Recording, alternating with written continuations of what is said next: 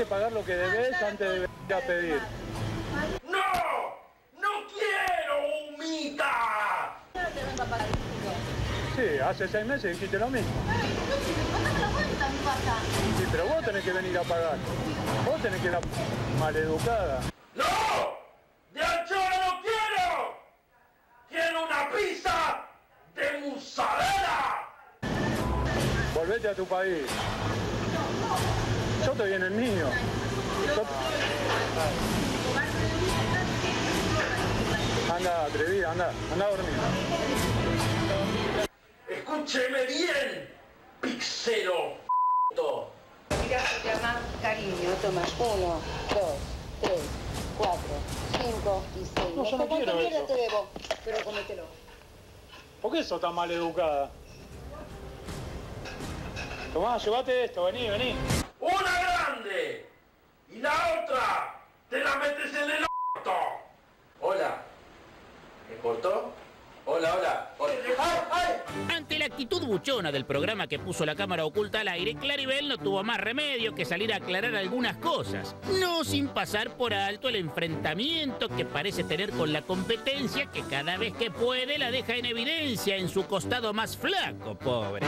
La tele tiene una trastienda que todos podemos utilizar el material que recibimos y estamos en su derecho, cualquier programa está en su derecho a usar el material que tiene porque obviamente anda buscando eh, el estilo de su programa o el rating.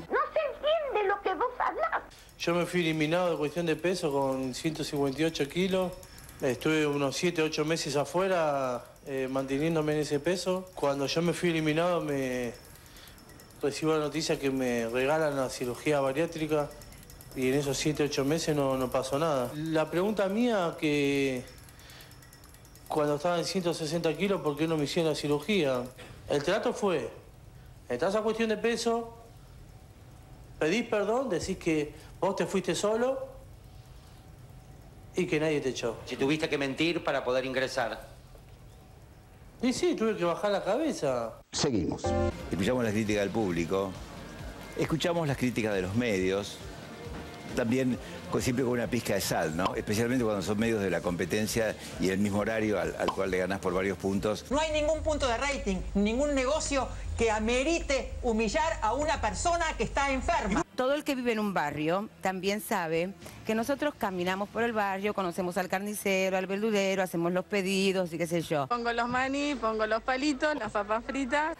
Evidentemente yo me olvidé de esa deuda, evidentemente. Lo que yo decía es por qué no me tocaron el timbre. De los pezones grandes. El que la entendió, la entendió, el que no la entendió, bueno.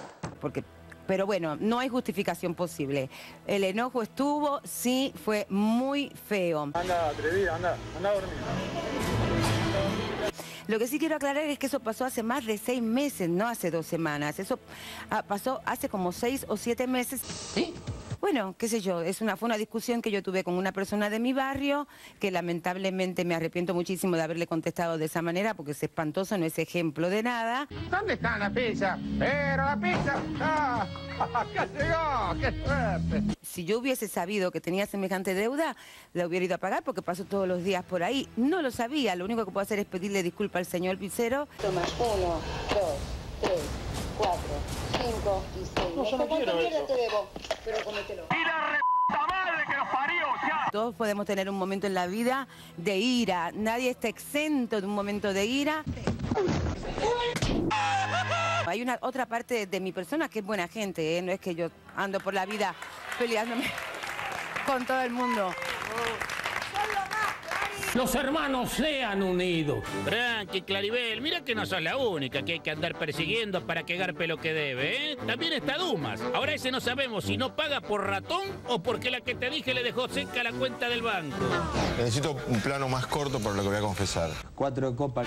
Y música, sí. Debo al bar de este canal. Ah, pero decí la cifra. Pero si estás igual debo y hoy me vinieron a preguntar por sexta vez cuándo voy a pagar. ¿Qué tal si me vas poniendo un dedo en el traste? No, pero pagá. 30 pesos, Fabián Doman. No, Rata casi 600. Yo decía 500, yo tenía el dato de 500.